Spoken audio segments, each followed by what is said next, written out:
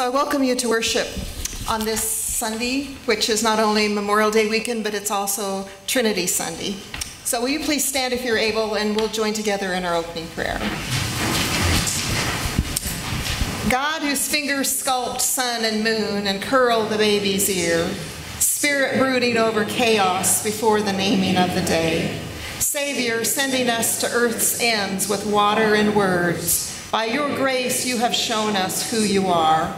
We glorify you as Trinity, even as we worship you as one.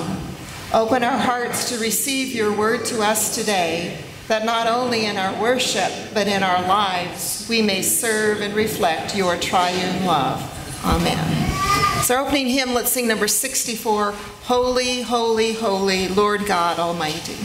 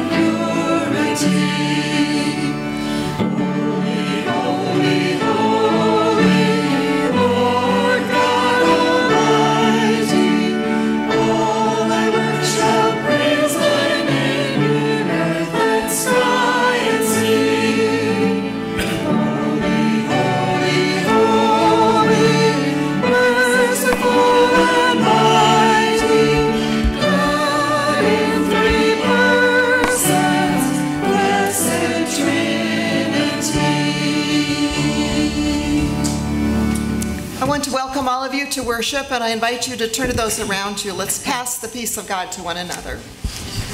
Peace with you. Peace with you. Peace to you. You got big plans for the weekend? Peace to you. Oh. Peace to you. Very good. No rush, but send Peace be with you. Peace be with you, Joanne. Peace be with you. Peace be with you. peace to you, Gail. You may be seated. And I invite you to look in your bulletins or on the screen as we read together our affirmation of faith. We belong to God, eternal and infinite, creator of all things and all that is to come. We follow Christ who comes to us from God and reveals God to us. He heals people and transforms lives and calls us to join in his ministry. He was crucified, died, and was raised by God and reigns over all creation. And he bids us to die and rise with him in the service of the healing of the world.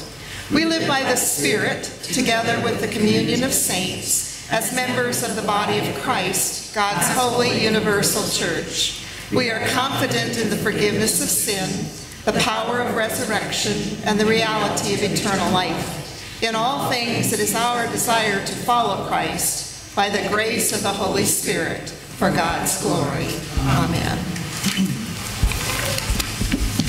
There are a number of announcements that I would like to call your attention to today. In, in your bulletin, you will see this little leaflet, this little envelope for Peace with Justice Sunday. This is one of the four special offerings that as United Methodists you have the opportunity to give to if you wish. This particular one goes to help with, with issues of, such as helping refugees. We know that there are thousands of refugees around the world who are displaced from their homes and they need everything.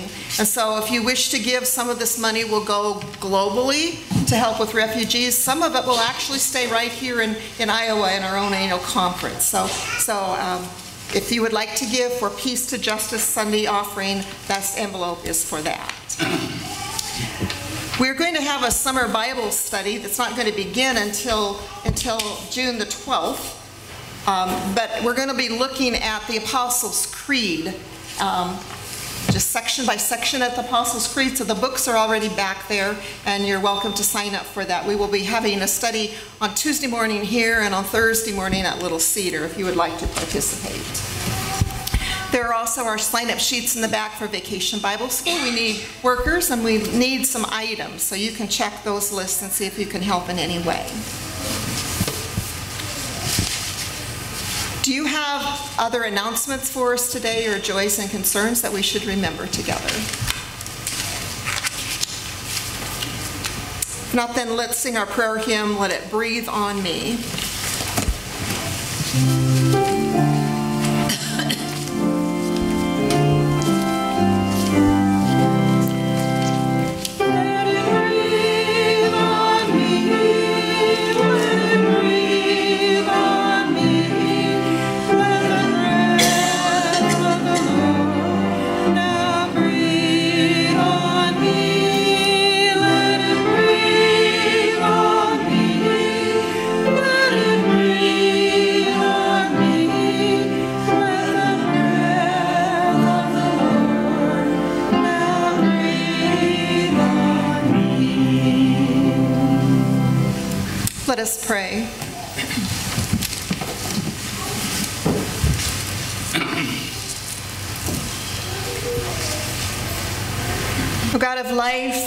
Liberty and breath, we are so glad that we can gather here today just to breathe in you. We thank you for being our God and for loving us and for giving your life for us. And we thank you for persons that have shown your love to us in the ways that they have lived or the ways that they have died. We are so grateful for that. And we don't ever want to forget um, these examples of true love. We come to you as persons who do not always live as though we understand what loving you and loving other people is all about, though. And so we ask your forgiveness for the times that we really messed that up. Help us by your grace to be people who really honor you and help other people through all that we do. We come to you on behalf of persons that might be in care centers or in hospice or in hospitals or at home feeling pain or sadness or worry. And we just ask that your presence be so close to them that you fill them with a sense of your joy and your peace. And we pray for those who are worried or feeling alone today or, or for those who don't have everything that they need. People around the world who don't have shelter, don't have peace, don't have work, don't have water. There are so many things that we need, and we ask that you help us all to work together so a good life can be possible for everyone. We especially ask that you be with those who have had tragedies recently or in the past. Sometimes it takes so long to work through those tragedies, and so we ask your special blessing to be with them. We ask that you help us as a congregation that we won't just be here and that we won't just be busy, but that we will always be looking to you to see where it is that you are guiding us and where you need us to be, and help us by your grace then to go there. Now, please hear us as together we pray the prayer that you taught us to pray, saying, Our Father, who art in heaven, hallowed be thy name. Thy kingdom come, and thy will be done, on earth as it is in heaven. Give us this day our daily bread, and forgive us our trespasses, as we forgive those who trespass against us. And lead us not into temptation, but deliver us from evil. For thine is the kingdom, the power, and the glory forever. This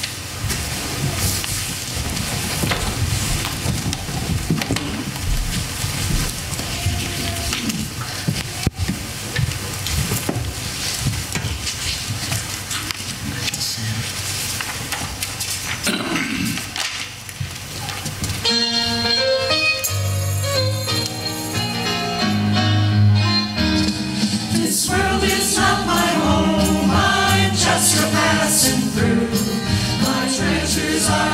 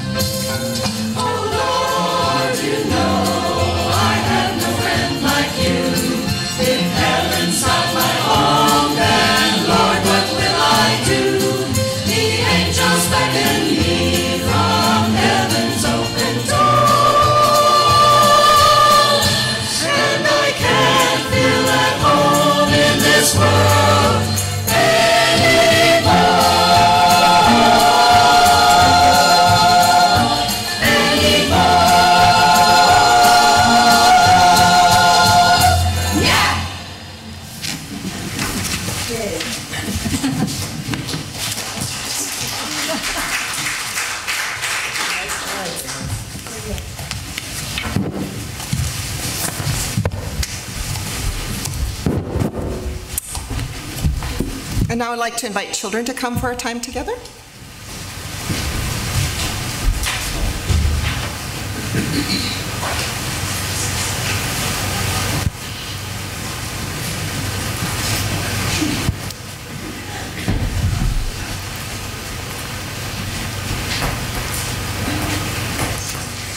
wanted to show you a really, really old picture. So not a very good picture because it's sold and it's just a copy of a picture. But this is my great, great, great grandfather. When he was young, he was in the Civil War. Have you ever heard of the Civil War, right? And he fought on the side of the North, on the, on the side that was saying, we really don't think people should have to be slaves. We want people to be free.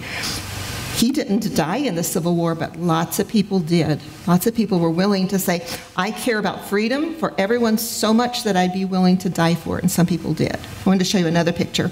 This is a picture that was taken before I was born, but it was in, in the uh, Omaha World Herald picture showing some of these people that had fought in the Civil War, and, and they still remember what it was like. This is my great great grandfather here, and you see all those, those things on his chest, right? Today and this weekend, we're remembering people that fought for us in different kinds of battles. because they wanted us to have freedom. And that's not something we take lightly, right?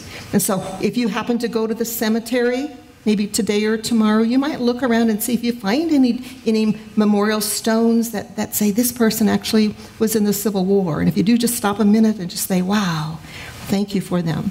But one thing I really want you to know is that something Jesus said. Jesus said, There is no greater love that anyone could show than this, that someone would give up their life for their friends. Right? And that's the kind of love that Jesus showed us because he gave up his life for us. So let's pray.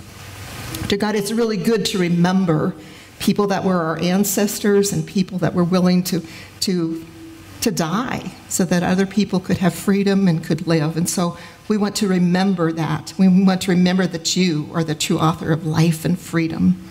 So bless the memory of, of those and bless these children as they're making wonderful memories in their lives. In your name I pray, amen. Okay, you can get a clipboard. The blue one? Okay, here you go.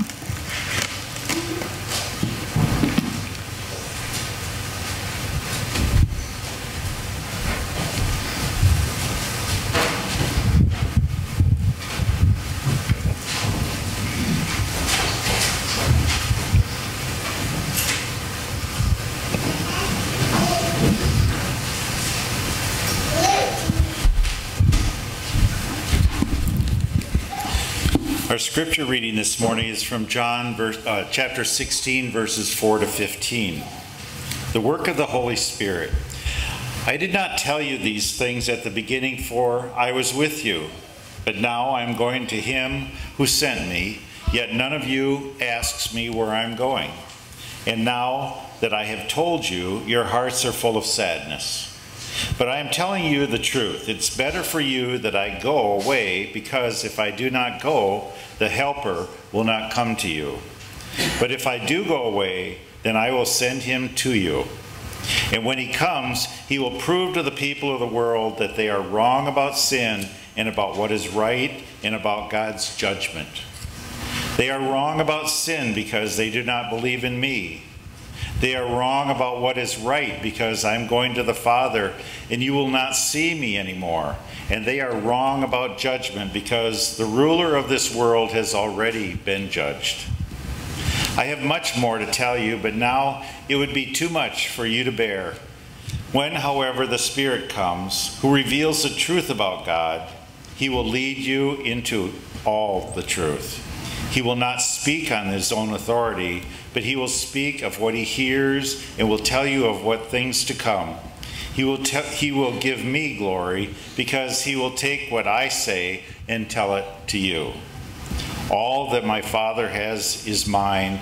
That is why I said that the Spirit will take what I give him and tell it to you. This ends the reading.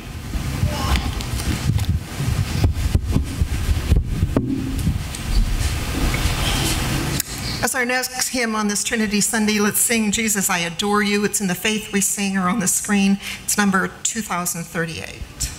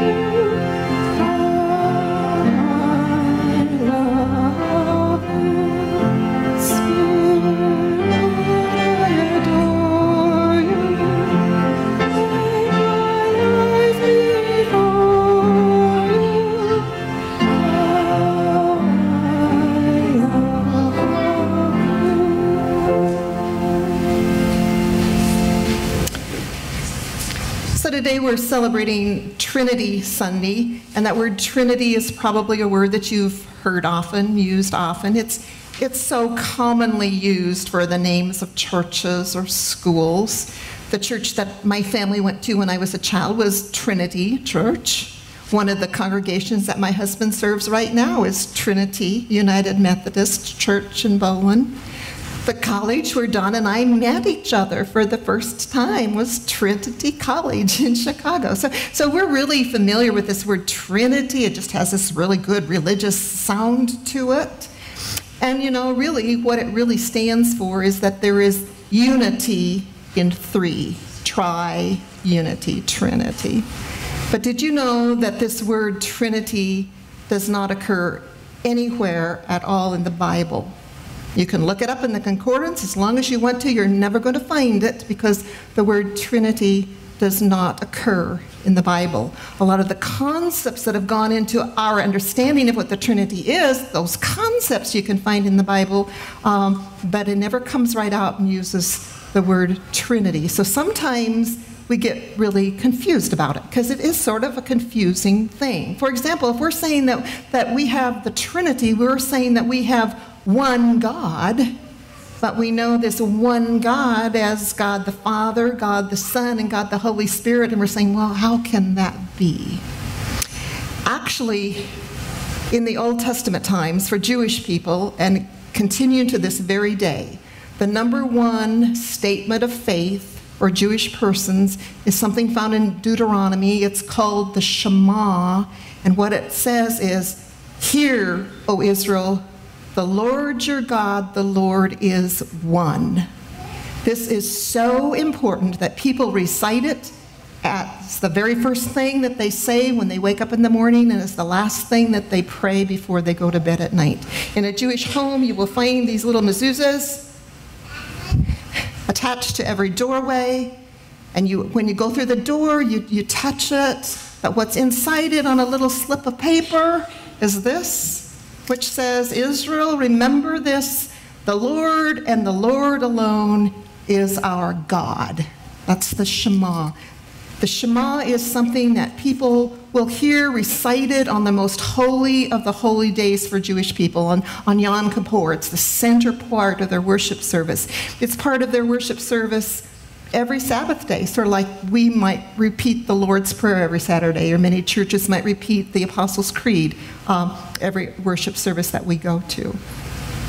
It's, it's the thing that people hear at the moment when they die. Usually, someone is there to recite these words over them Hear, O Israel, the Lord your God, the Lord is one. And people that are Jewish uh, respect that so much that when they recite it, it's very common for them to put their hand over their face and cover their eyes out of, out of a way of respect.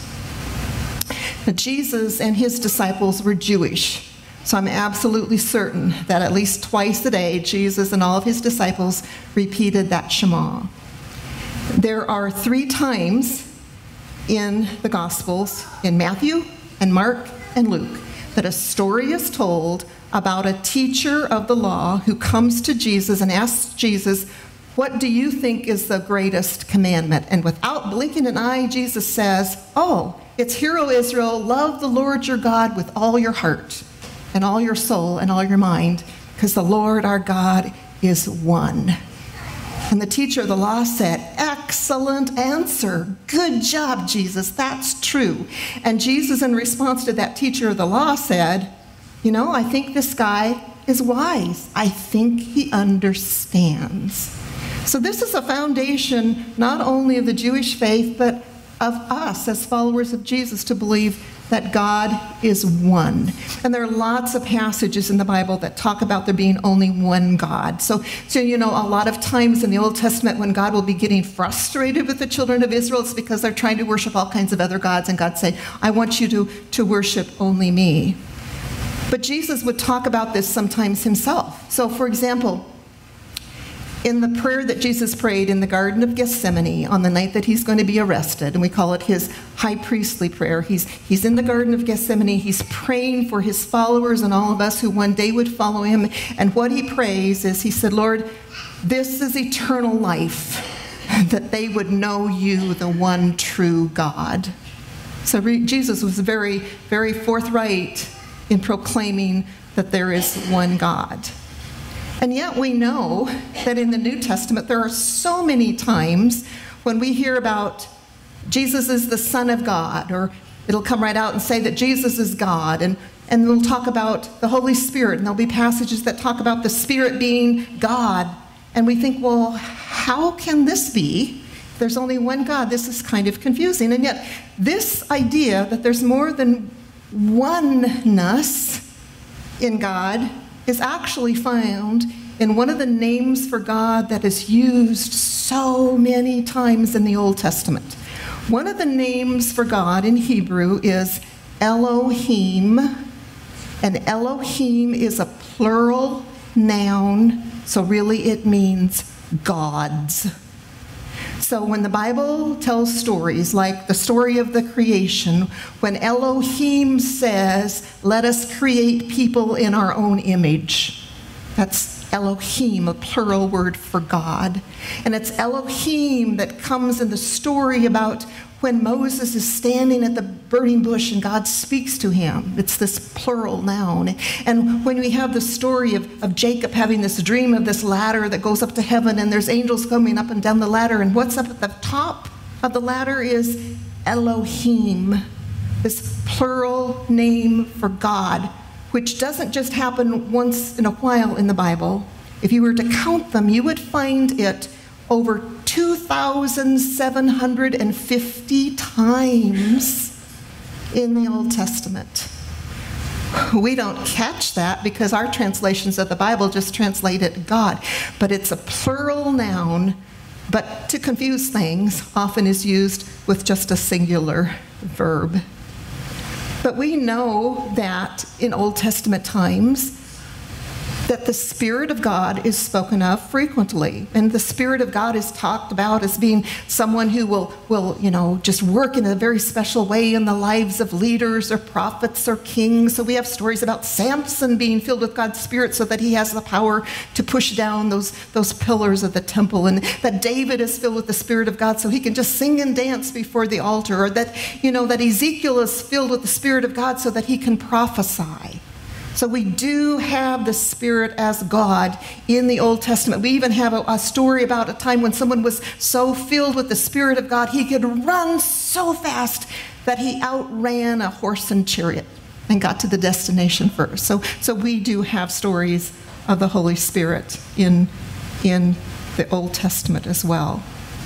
And Jesus and the New Testament often spoke of God the Father, God the Son, and God the Holy Spirit, sort of in one breath. So, you know, like the passage that we read today, we have all of those separate things as if Jesus is saying, I've been here and now I'm going away and I'm going up to the Father, and the Father will tell you what to do, and the Holy Spirit will take care of you, and so on. So, so we have this feeling of different persons. And we know that one of the last instructions that Jesus gave to his church right before he left, what we call the Great Commission, was that Jesus said, I want you to go into all the world and make disciples, baptizing them in the name of the Father and the Son and the Holy Spirit.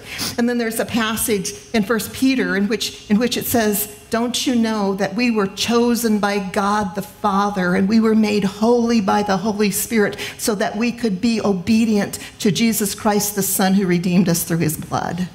So it's very, very common in the New Testament to actually spell those all out as if they're together, or, or even in the story of Jesus being baptized, right? Jesus the Son of God is in the water, and the voice of God is booming from the clouds, and down comes the dove, landing like, you know, the Holy Spirit being present with Jesus. And so we have this idea of there being three persons, but one God, and it's really confusing.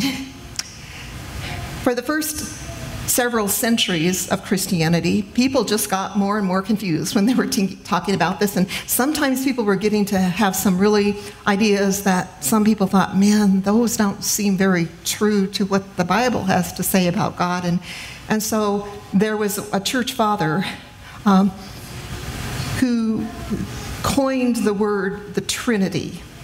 This is about the second century after Christ. And, and he said, you know, if we have the Trinity, we can think of there being one God. The essence is God, but is in three persons God the Father, God the Son, and the Holy Spirit.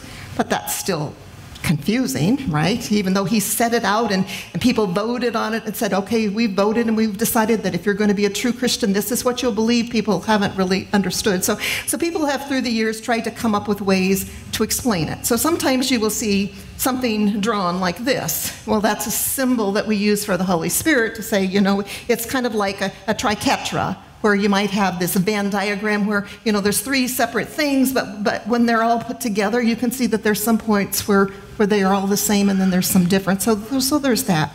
Sometimes people will use an egg, and they'll say the Trinity is sort of like an egg. You know, an egg has a shell, and an egg has a yellow yolk, and it has an egg white that, you know, and the yolk is very different from the shell, which is very different from the egg white, but they're all egg. You can't draw these analogies too far out or you get really mixed up. And, and but, but this is something that people sometimes use to explain the Trinity, or sometimes they'll say, you know, the Trinity is sort of like an apple. You know, here we have an apple, and the apple has this peeling on the outside, and inside you've got the nice white flesh of it, and then there's seeds, you know, and the seeds aren't the same as the skin at all, and yet all of this together is an apple. So the Trinity is sort of like that. Sometimes people will say, well, the Trinity is really sort of like H2O, you know? It's like, you know, you have H2O and that can be liquid as water that you drink, or it can be solid like ice, or it can be steam, but it's all H2O. The Trinity is sort of like that. Sometimes people say, it's sort of like a pyramid, you know? A pyramid has, is three dimensional, it has three separate sides. It's not just one plane, it's three separate sides, and each side is different. Each side has its own plane, right? But, but all together they're a pyramid, and Trinity is sort of kind of like that. Someone that had a lot of trouble getting people to understand the Trinity um, was St. Patrick when he went to Ireland. And the story says that one day he was out in the grass with people that didn't understand the Trinity, and he happened to see a shamrock, so he picked it and he said, Now look, no, it's got one stem, but three separate leaves. That's sort of kind of like the Trinity. Um, but it still gets kind of confusing. And people sometimes will say, well, you know, it just doesn't really add up. If you have one God the Father, and one God the Son, and one God the Spirit, and you're adding one plus one plus one together, you're not going to get one, you're going to get three. And we all would have to say, yeah, you're right, because 1 plus 1 plus 1 equals 3. But people then who are trying to explain the Trinity might say, but you know, understanding the Trinity isn't really a math arithmetic adding problem. It's really a multiplication problem. It's like you've got this, this one God you know, and, and you have God the Father, and you, you multiply that by one God the Son, and you multiply that by one God the Spirit, and what do you have when you multiply one by one by one? You get one. It, it's sort of, kind of like that. And yet, it's really still very confusing. And, and we can really get messed up if we take any one of those analogies too far. Because it's sort of a mystery, and yet it's sort of wonderful as well. One of the illustrations that people sometimes are using nowadays to explain it is an illustration that kind of looks like this, where you have a triangle, and each point of the triangle is one of the persons of God. So you have God the Father, and you have God the Son, and you have God the Spirit. But then they want to make sure that we understand that the Father is not the Son, and the Son is not the Father, that the Father is not the Spirit, and the Spirit is not the Father, and the Spirit is not the Son, and that they are distinct, unique persons. So we have three persons, but they all have the same essence. And the essence of them all is that they all are divinity, they all are God. And I think this can make some sense just to us and who we are. What is the essence of us? Our essence is human beings. That's our essence, right? We have DNA, we have bones, we have skin, we have breath, we have lungs, we, we live here on earth. We have the essence of being, in essence, human beings. But as human beings, we are all different persons. I'm different from you, you're different from you. We're all different persons, but in essence, we're all the same too. So, what the church fathers wanted us to think about God is to say that God is one essence, but three persons. That the essence is sort of what God is. God is divine, and that the persons are who God is. God is the Father, the Son, and the Holy Spirit. So if we think about all of these persons being divine, we might need to ask, well, what are the attributes of divinity?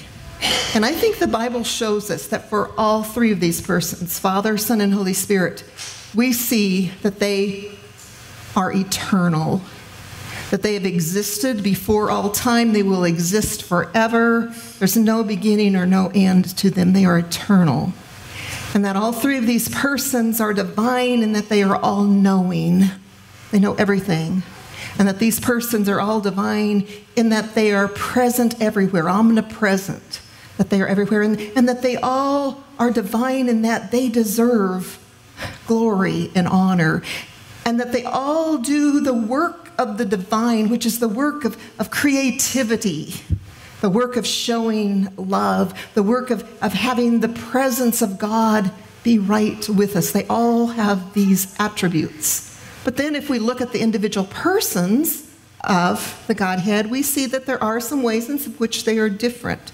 And so, like the passage that we read today from John, and other passages will say, you know, we've got God the Father, who's really the one with ultimate authority. Jesus would often say, Not my will, but what my Father wants to be done, that's what I will do. God has the ultimate authority, He has ultimate power, and He is total love, and He's totally good. That's God the Father. And then we have God the Son, who is the one that, that came down to be on earth with us, to really to be to be the word of God in the presence of God with us in the flesh, right? To Really to, to speak for God and help us to know God's love right, right here and now.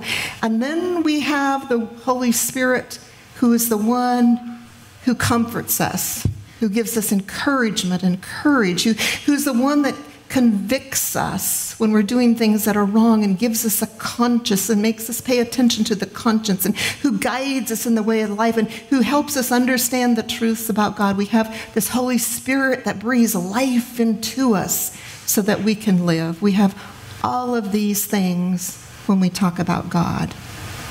But if you were to ask, well, you know, really, basically, what on earth is God doing?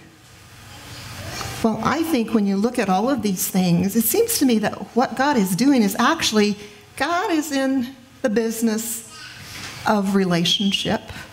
God is busy relating.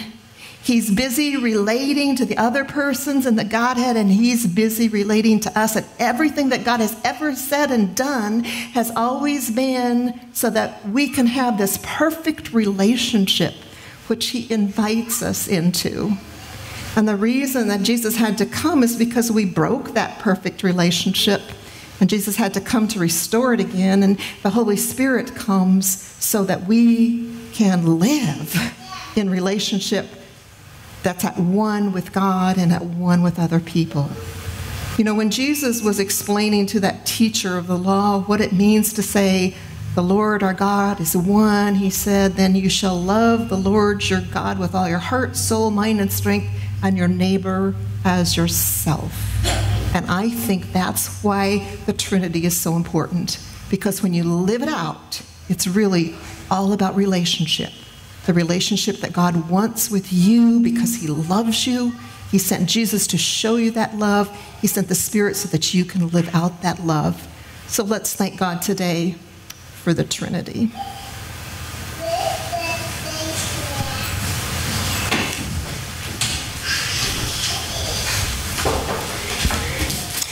In one of our newer hymnals, which we don't have copies yet for the pews, but we made copies for you in your bulletin, is a song that really sings about God the Father, God the Son, God the Holy Spirit, and then the Trinity. So I invite you to stand if you're able as we sing together from the insert or the words are on the screen Eternal God, transcending time.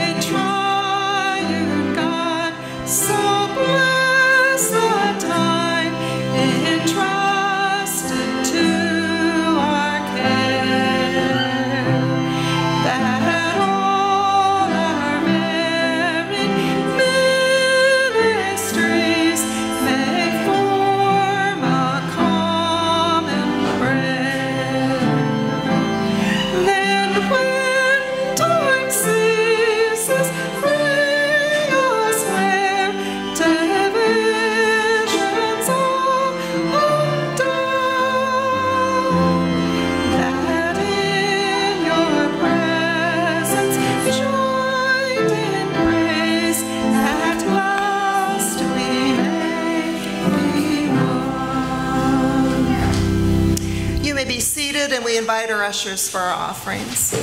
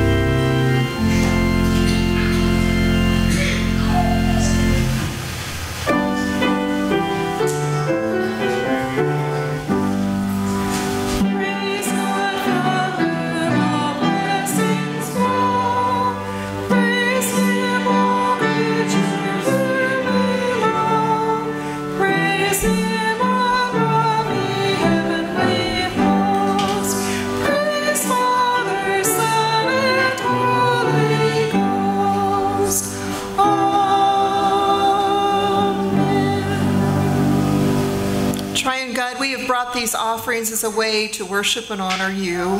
We want other people to know your love, and so please bless these gifts and use them for your glory. In your name we pray. Amen. Will you please join me in reading the words of the benediction, and then following that, we will sing our recessional hymn, Sent Forth by God's Blessing. Let's read the benediction together. Holy Trinity, outgoing, sending, send us in your name and in your image. Grow in us your delight in otherness, difference, and variety. Inspire in us your unity of loving purpose. Instill in us your joy in receiving and giving. Inspire in us determination to stay in covenant with you and with each other. Build between us relationships that practice peace and grow in us the courage to risk reaching out in love. Amen. Thank you.